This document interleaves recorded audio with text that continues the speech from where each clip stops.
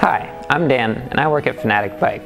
We're known for helping people create gorgeous custom builds with some of the best mountain bike brands on the planet.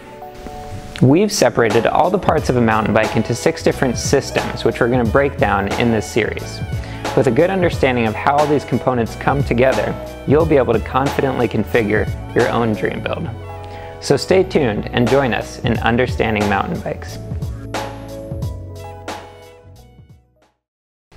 Our previous episode, we covered our frame and frame geometry. We also talked about our suspension, the front fork, rear shock, as well as our headset, which attaches our fork to our frame. In this episode, we're going to cover the system that helps us drive our bike forward, called the drivetrain. Simply put, a bicycle drivetrain uses a pedal-powered crank to turn the rear wheel using a chain and gears. The ratio of these gears determines how many revolutions the wheel is going to turn for each revolution of the crank arm. For example, in a one-to-one -one ratio, like I've got it set up right now, for each revolution of the crank arm, the wheel is going to turn once. Let's try that out. Back to where we started. With a 2 to 1 ratio, for every revolution of your crank arm, your wheel is going to turn twice. I changed the gear we're on back here, so let's give that a go. That's one revolution of the rear wheel and two revolutions of the rear wheel. Crank arm is back where we started. So the smaller the ratio, for example one to one, the easier it is to pedal, like when you're going up a hill. With a larger gear ratio, two to one, you're going to be able to pedal faster, but it's going to be harder to pedal. The bicycle drivetrain is an extremely efficient system that uses a chain to transfer power from your legs to the rear wheel. It does through it does so starting with a crankset, which is simply two offset arms attached by a rotating spindle. This is also what your pedals thread into, and it's worth noting that the non-drive side or left side crank arm is reverse threaded, so that as it's all spinning, you don't tighten your pedals so much so that they can never be removed. On the drive side of our crank arm, you'll find your chain ring. This is a replaceable gear that can vary in a number of different ways.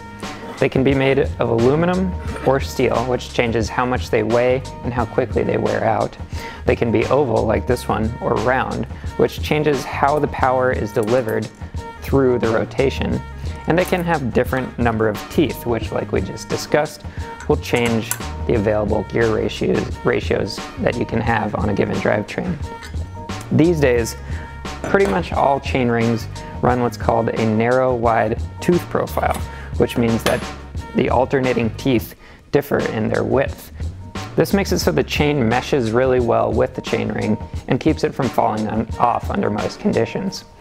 Regardless of which chainring you pick, the purpose of this is to get the power from your legs to the rear wheel. Now, to connect all this to your frame, you need one crucial piece called the bottom bracket. This is simply two bearings, much like your headset, through which the crank spindle goes. Many of them these days are threaded, like the one I have here, or the one on our frame over here, our example frame, is press fit, which means that we use a press to squeeze it into the bottom bracket shell. If the cranks are where the power from your legs enters the drivetrain, the cassette is where that power is going. A cassette is simply a cluster of gears mounted to the rear wheel, typically 12 cogs, ranging from about 10 teeth at the bottom to roughly 50 to 52 these days, at the top end. Such a wide range of gears gives you a lot of wiggle room to find the perfect gear ratio whether you're pedaling up a really steep hill or charging down a fast speedway. To move our chain up and down these gears, we have what's called a derailleur. This is simply a spring-loaded mechanism with two pulley wheels inside this cage here. Now, with our chain running from our chainring to our cassette and down through our derailleur, we have a system that efficiently moves that power from our legs to the rear wheel. The spring-loaded derailleur is also able to accommodate increasing lengths of chain needed when you go up to a larger, bigger gear, or when your bike moves through its travel. The last piece of the drivetrain puzzle is your shifter. This is the remote that communicates with your derailleur and lets you move the chain up and down the cassette. It's a spring-loaded device that, through the use of this cable, moves the derailleur incremental amounts and puts those pulley wheels directly below a cog on the cassette. They're mounted up on the handlebar, typically on the bar itself or to your brake, and are actuated with your thumb. That's it for part two of understanding mountain bikes, mountain bike drivetrains. With a basic understanding of how all these components work together, we can see how they turn power from our legs into forward movement and what makes mountain bikes, or bicycles in general, some of the most efficient human-powered vehicles out there. Tune in next time for part three, where we'll discuss one of the most mind-boggling parts of bicycles, the wheels.